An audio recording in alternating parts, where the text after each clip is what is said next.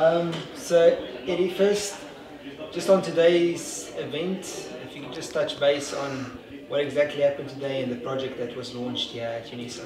Yeah, look, uh, I think it was a good initiative. I fully supported it because that was the missing link from our legend and masters department, you know. Because uh, remember, during our play days, we didn't mix education and football much. It was only football, football, you know, play, make money, how you squash your money. It was nobody's business. How to save, invest was nobody's business.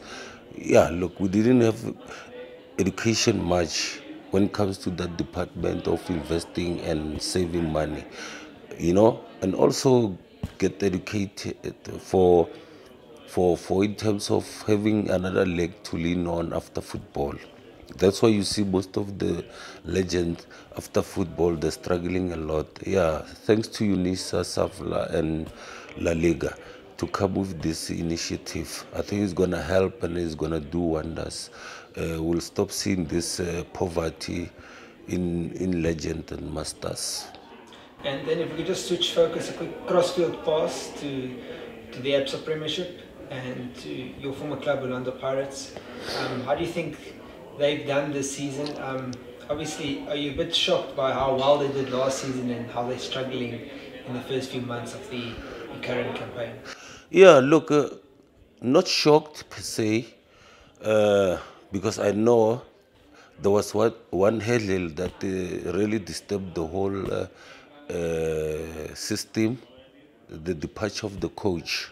You know, I think if he he, he didn't uh, the team, we could have been talking another language. But he left, and then uh, he left that vacuum where Rhulani has to take over the whole pressure uh, on his shoulders. You know. Uh, I mean, I'll, I'll give a typical example. I'm very close to my daughter. I just feel that uh, one day if I can just vanish next to her or maybe pass, passed away, she's gonna struggle a lot. She's gonna need a lot of lot of counseling. I think that's what is needed at Pirate now.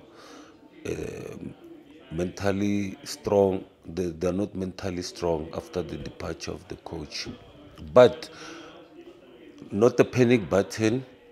I, I think uh, slowly they're regrouping. You can see uh, their past recent uh, games. I mean, they they they create so many chances. It's just they miss. They don't bury the chances. I don't know whether it's decision making or it's concentration. Yeah, but uh, I, I'm just thinking that uh, the coaches will work around that department. Uh, at first, we were like uh, open at the back. Now, the, the back door has been shut. It's only now goals, goals opportunities. They're not uh, utilizing that. Obviously, Coach Rhulani was put in, into a difficult situation. Obviously, like you said, Micho left. What advice do you have for him? Um, obviously, like you touched on, it's a very difficult situation to, to be thrown into a position like that in your coaching career when you're just you know just starting as a coach. Yeah, look, uh, all I can say to him he said uh, he must just hang on there, uh, do his best. You know, I know he's a he's a mastermind. You know, he can turn things around. You know, all he needs is the the the necessary support. All he has to do now, uh, he, he need to work on the mental strength of the players because that's that's what they mean. Tactically and formations and otherwise we can all see is there. The mental strength that's all is needed now to the players.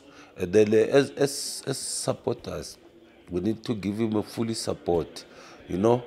We need to he, he's still on a on a building process you know? So we need to give him uh, fully support you know, I know why supporters uh, start panicking and all that because at this point in time, Pirate uh, wasn't is not supposed to be lying where it's lying. but this is a situation we need to deal with it. And I know supporters, pirate supporters, the results driven. That is why now the panicking and uh, screaming and all doing all those tantrums. You know, all we have to do must just support the coach. I mean, uh, uh, one of our own, uh, Pitso Mosimane, Gavin Hunt, uh, it, it, took them years to, to be where they are, you know, to be amongst the best in the world. You understand? So we must just give the young boy, he's still young. Yeah, we, we, we need to give him that support. A big talking point this season has obviously been the match officials uh, benefiting, as, as uh, the media has called it, um, and fans have called it. Uh, what have you made of the refereeing standard in South Africa, and where do you think we can improve in that aspect going forward? Yeah, you, you see, when you talk about our referees, the, the, the, I'm, I'm not saying, I, I won't say they cheat. They, they don't just know how to ref you understand? Because cheating is when you, you rip me off one team every time. Now this ones make the very same mistake at Polokwane, the very same mistake at Sadao, very same mistake. So they don't know the rules of the game. I think our referee need a refresher course. You know, SAFA must do something about them because they're spoiling the game. And and remember that uh, goal disallowed or that goal that wasn't given, somebody he might lose his job, he might lose his life on the day. You understand? So our referees they, they causing a big damage in our football.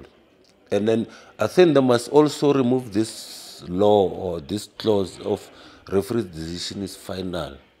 Because their decisions are not final, they are diabolical. Good point.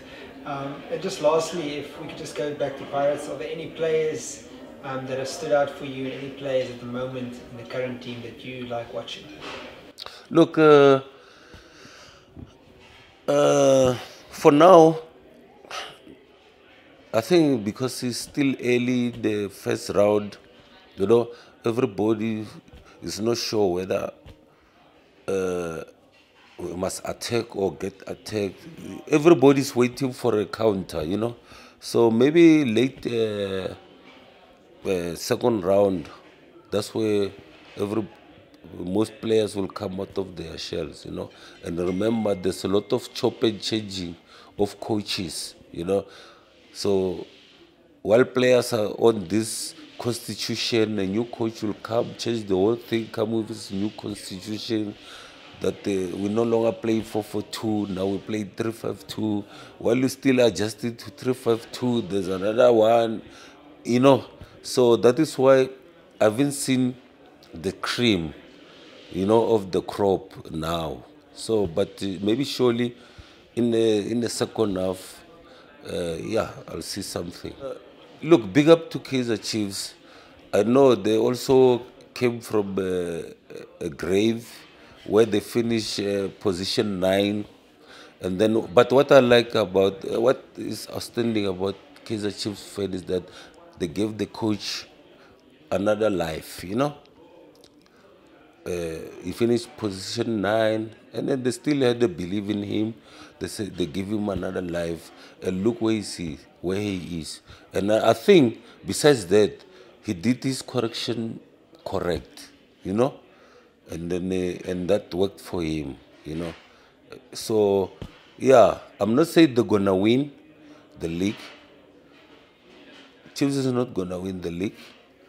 Sundowns is not gonna win the league. And don't ask me who's gonna win it. Okay. But they did very well for themselves. You can see the the will to win, the anger on the players, you know. So even in English, they say once beaten, once beaten, twice shy, something like, yeah, you know. So yeah, but they, they're doing very well for themselves.